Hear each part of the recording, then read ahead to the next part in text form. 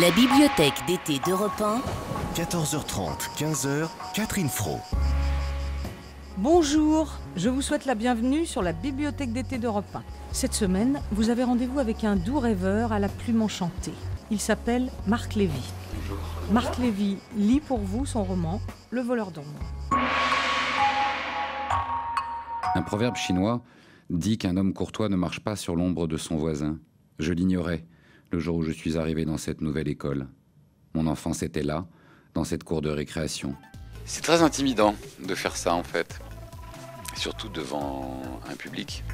Euh, moi, je trouve que c'est une idée euh, fantastique, même très importante, parce que c'est retrouver les mots et le silence.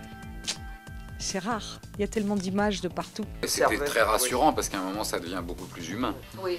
Vous voyez, euh, de voir les regards, de voir les. Ça c'était plus humain. Nous étions trois à porter des lunettes. Ce n'était pas beaucoup. J'appartenais au groupe 6C et une fois encore, j'étais le plus petit. Bah, tout à coup, euh, il y a un échange qui se passe. hein. C'est c'est comme un acteur sur un plateau. C'est-à-dire qu'à un moment donné, il y a- la- la- les mots prennent leur vraie valeur.